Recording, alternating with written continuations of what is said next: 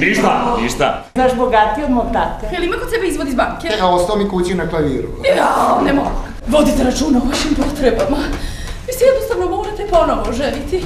Inspektore, šta ćete da uradimo? Šta će tu radi? Sve ste ću napustimo u kuću. Svi ste zreli za ludnicu.